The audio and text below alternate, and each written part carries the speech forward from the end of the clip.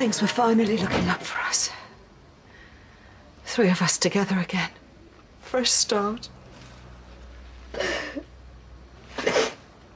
Look, Glenda, maybe you'd be better off at your place. You know, with Danny.